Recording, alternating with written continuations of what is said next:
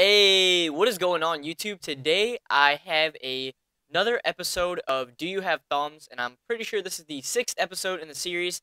And I would have done a viewer's choice Thursday but I haven't had really time to play league play and look over the class sets that people left to comment. So I decided I would do a friendly Do You Have Thumbs? And if you guys are new to this series it's basically me turning on somebody like really hard um, and then missing a lot of bullets and me just like destroying them. And this game online is crazy um, you know, it, it really is, and a lot of shit happens, but it's it's a good clip. It's a funny clip. The other guy, um, he I actually was playing with him for a while. He's a good player.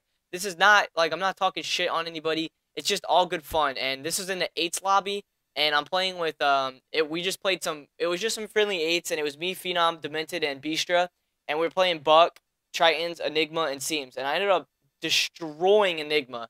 Um, as you can see right here. I'm going to play the clip and then I'm going to rewind it. So hopefully you guys enjoy the clip. And if you do, like the clip and make sure you guys are subscribing. And thank you guys so much for, um, I'm almost at 1,400 subs. So thank you guys for subbing and watching my videos. And hopefully you guys enjoy this awesome turn on clip. And let's just get right into it. Hostile lightning strike inbound. So here we have the clip in slow motion on 0.1 seconds. He missed about 24 bullets. So I'm going to let you guys watch this. And my question to Enigma is, bro, do you have thumbs?